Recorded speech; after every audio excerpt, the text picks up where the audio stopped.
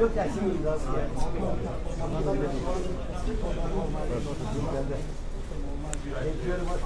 İyi akşamlar. Falcao Türkçe, İyi akşamlar. Türkçe, Türkçe.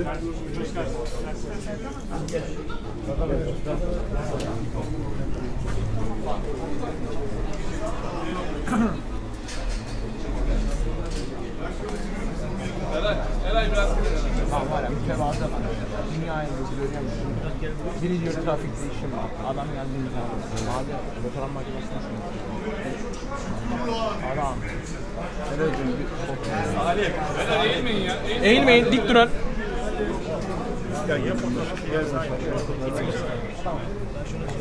Deniz, görüşürüz. Görüşürüz. Falcao'nun ilk maçı ilk golü. Falcao ilk maçına Galatasaray taraftarının huzurunda çıktı. Bence güzel de bir atmosferde büyük bir destekle çıktı. İlk golü kokladı aslında.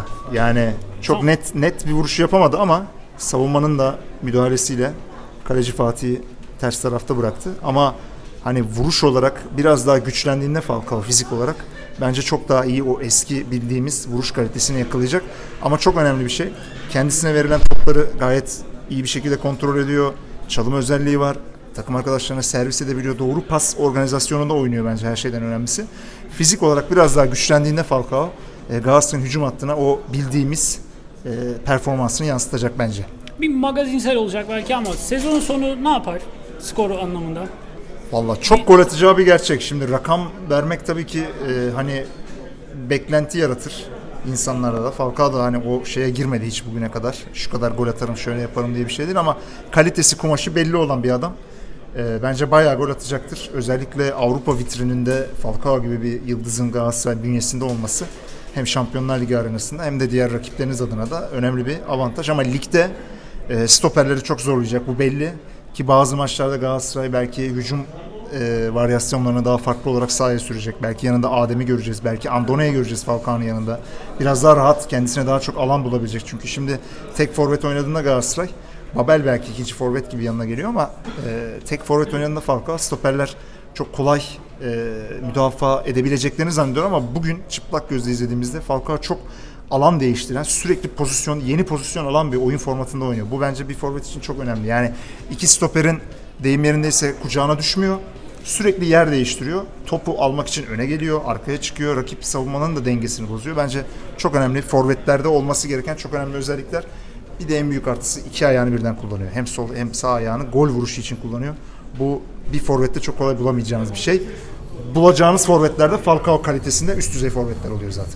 Teşekkür ediyorum. Ben teşekkür ederim. Burhan Can abi Falcao'nun ilk golüyle ilgili ne düşünüyorsun Burhan abi? Falcao golden öte gol atması tabii ki çok önemliydi bugün.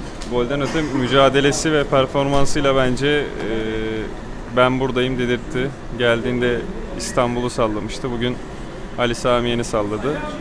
E, gol belki hani rakibe çarptı. Hani ilk golü keşke böyle olmasaydı diyenler var ama sonuçta 3 puanı getiren gol ve hani dönüşleri saha içinde yaptığı estetik hareketler bunlar hepimiz tarafından bir santrofor e, özelinde özlediğimiz hareketlerdi. Bu anlamda çok e, etki oluşturdu diye düşünüyorum. Çünkü zaman zaman e, takımı ateşleyecek hareketler yapmak da çok önemli. Cagne açıkçası e, bu konuda yetersiz kalıyordu. Gomis'ten sonra özellikle. Yani zaten Falcao'nun kalitesi tartışılmaz. Dünya yıldızı ve bugün de yaptığı hareketler ve attığı golle yani oradan belki çoğu santrafor vurmayı düşünmez ama o bir şekilde kalenin içine sokmayı düşündü ve gerçekleştirdi düşünüyorum. Ee, bence e, çok iyi bir başlangıç yaptı ama takımın geneli için aynı şeyleri söyleyemeyeceğim. Ee, pek olumlu sinyaller alamadık. Enzonzi, Babel ve Falcao dışında sonradan giren Ömer Bayram'ı da ayrı tutalım. Ee, bu dört oyuncu dışında takımın geneli pek olumlu sinyaller vermedi açıkçası diye düşünüyorum. Yani Fatih Hoca'daki teknik heyetteki hırs, istek oyuncularda pek yoktu. Özellikle savunmayla e, orta saha arasındaki boşluklar e, Kasımpaşa fazlasıyla değerlendirdi bunları. E, bunların daha aza indirgenmesi gerekiyor.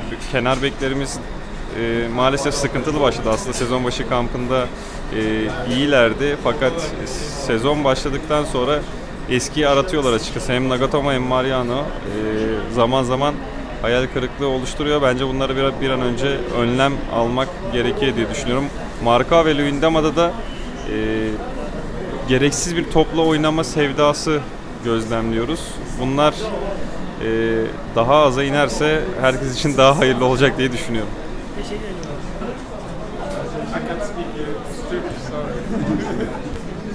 Sorry, sorry.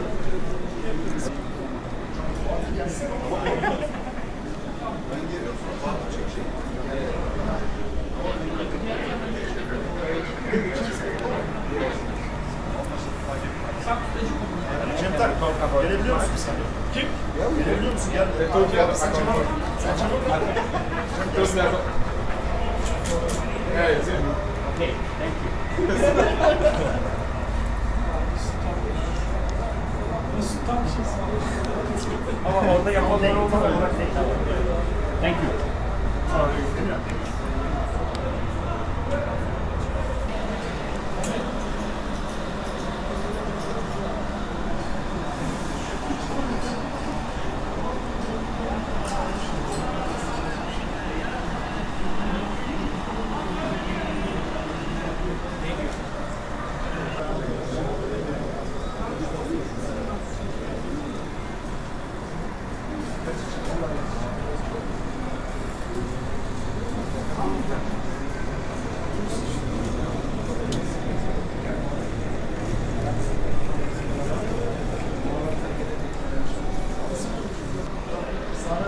Mesut abi bu akşamki Falcao'nun golü ve performansı ile ilgili ne düşünüyorsun? Ee, bugün Falcao şans golü attı ama istemesi, iste, istekli olması çok önemliydi. Ee, biraz daha iletişim kopukluğu olmasa daha farklı sonuçlar elde edebilirdi. Ee, kenarda özellikle sağ bekte e, Mariano ve e, Babel'in pardon Mariano ve Feguli'nin kurduğu organizasyonu sol tarafta da Babel'le bir e, Nagatomo'nun kurması lazımdı ama olmadı. Yani iletişim kopukluğu dediğim oydu. Orta sahada e, biraz daha Falcao'ya yakın oynanabilir. Ona daha fazla top gelebilir, getirilebilir. E, sonuç sonuca gidebilecek yetenekte. Zaten gördüm bugün istekliydi, arzuluydu. Bu da Galatasaray taraftarını tatmin etmiştir diye düşünüyorum.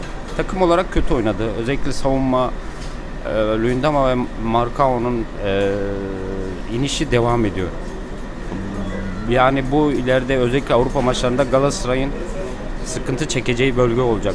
Ee, Avrupa takımları affetmez. Belki bugün e, daha sert bir takım, daha bitirici bir takım olsa sonucu sonuç çok farklı olabilirdi. Ee, oraya bir dizayn yapılsa e, sanırım bu takım biraz daha e, şeyler yapabilir diye düşünüyorum. Teşekkür ediyorum. Rica ederim.